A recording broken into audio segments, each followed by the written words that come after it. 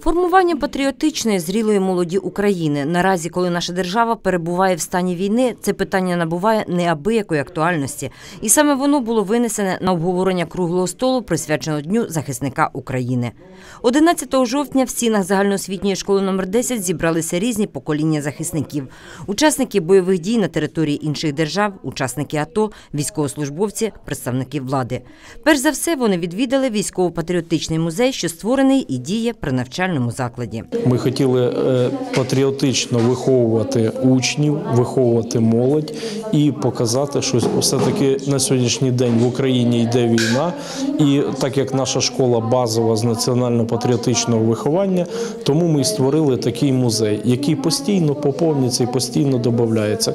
Сьогодні він розділений вже на дві частини. Прапори тут вже не поміщаються, їх близько 50. До речі, в Чернігівській області ніде нема е, такого музею, де в одному місті було 50 прапорів різних підрозділів і добровольчих батальйонів із зони ООС. У нас такі є. Саме ці прапори і є найціннішими експонатами музею, зазначає ініціатор його створення, директор 10-ї школи Олександр Правосуд. Там пошматовані, постріляні, які саме взяті з передової. Не менш цінними є також прапори 41-ї е, бригади Чернігівської, яка вже розформована. І в нас є ці два прапора, але самої бригади вже не існує. І ці прапори це вже історія. Нема самої бригади, нема таких прапорів. І багато-багато інших, які нам передають із зони ООС. От. Всі вони цінні, всі, всі як один. Двері музею патріотичного виховання школи номер 10 завжди відкриті для всіх бажаючих, говорить Олександр Михайлович. До нас е, навіть е, діти е, приводять дітей на екскурсію з дитячих навчальних дошкільних навчальних закладів, з дитячих садочків.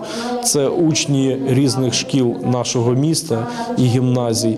Також працівники воєнкомату до нас приводять на екскурсію призовників в рамках патріотичного виховання.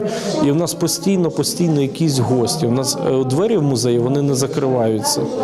І ми постійно раді бачити е, будь-яких прилучан, будь-які делегації з інших міст, з інших країн. У нас цікава підготовлена екскурсія, і ми завжди раді гостям. У нас відкриті двері. Після відвідування музею учасники круглого столу перейшли власне до обговорення теми патріотичного виховання молоді. Директор школи Олександр Правосуд перш за все вручив відзнаки батьківського комітету навчального закладу за благодійність і милосердя. Нагороди отримали голова громадської організації Щит Павло Красноок та голова громадської організації Право на захист Сергій Цибенко. В ході засідання круглого столу учасники обговорили низку питань, що стосувалися концепції захисту України, ролі органів влади у зміцненні обороноздатності країни та вихованні патріотизму, значення свята День захисника України в процесі національно-патріотичного виховання, а також волонтерства як національного феномену. Не оминули своєю увагою і ситуацію вічні, наголосивши, що такі події спонукають нас до патріотичного виховання молоді як однієї із складових готовності до захисту рідної держави.